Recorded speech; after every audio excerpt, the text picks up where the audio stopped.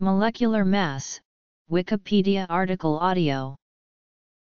Molecular mass or molecular weight is the mass of a molecule. It is calculated as the sum of the atomic weights of each constituent element multiplied by the number of atoms of that element in the molecular formula. The molecular mass of small to medium-size molecules, measured by mass spectrometry, determines stoichiometry. For large molecules such as proteins, methods based on viscosity and light scattering can be used to determine molecular mass when crystallographic data are not available. Definitions. Determination. Mass spectrometry. Hydrodynamic methods. Static light scattering both atomic and molecular masses are usually obtained relative to the mass of the isotope 12C, which by definition is equal to 12. For example, the molecular weight of methane, whose molecular formula is CH4, is calculated as follows. A more proper term would be relative molecular mass.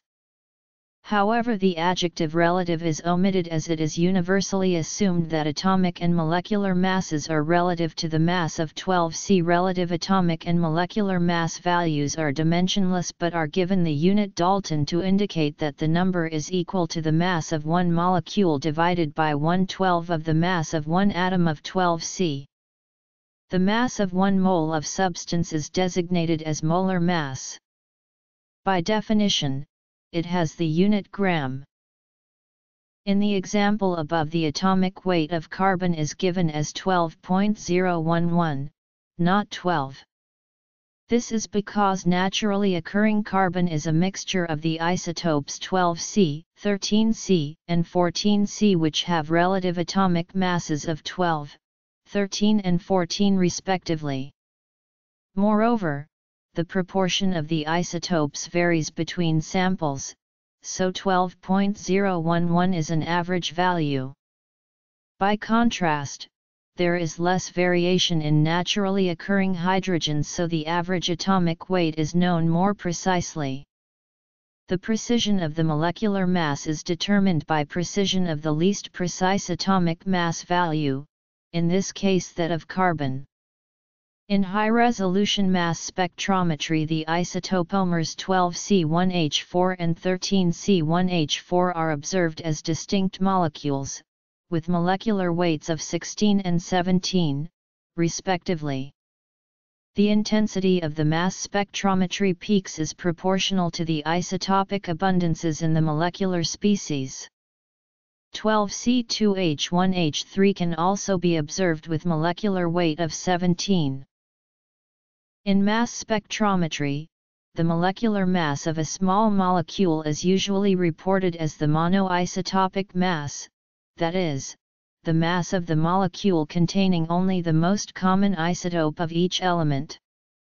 Note that this also differs subtly from the molecular mass in that the choice of isotopes is defined and thus is a single specific molecular mass of the many possible. The masses used to compute the monoisotopic molecular mass are found on a table of isotopic masses and are not found on a typical periodic table.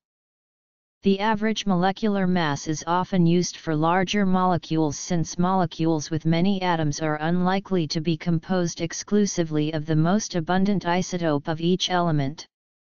A theoretical average molecular mass can be calculated using the standard atomic weights found on a typical periodic table, since there is likely to be a statistical distribution of atoms representing the isotopes throughout the molecule.